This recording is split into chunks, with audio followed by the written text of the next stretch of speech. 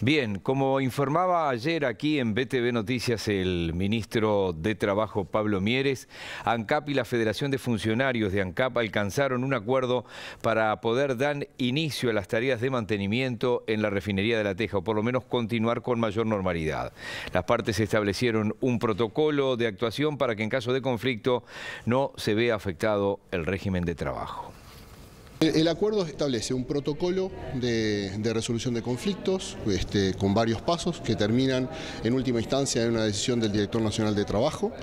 Eh, tiene también como condición un, bono de compromiso, que es un bono que premia el presentismo y la consecución de los pasos establecidos en el cronograma de, tareas, así como también que las tareas se hagan en el plazo previsto. Entonces, eh, no hay ninguna limitación a la libertad sindical, solo que la, libertad sindical no puede afectar la duración de los trabajos. Cumpliendo el protocolo que se acordó, los trabajos se van a desarrollar con normalidad y en ese caso va a haber un bono, que es un bono extensible a todos los trabajadores, tanto propios de ANCAP como este, de contratistas, en algo que es una práctica bastante habitual en la industria, que es premiar el lograr el terminar los trabajos en plazo. ¿Cuánto es el bono?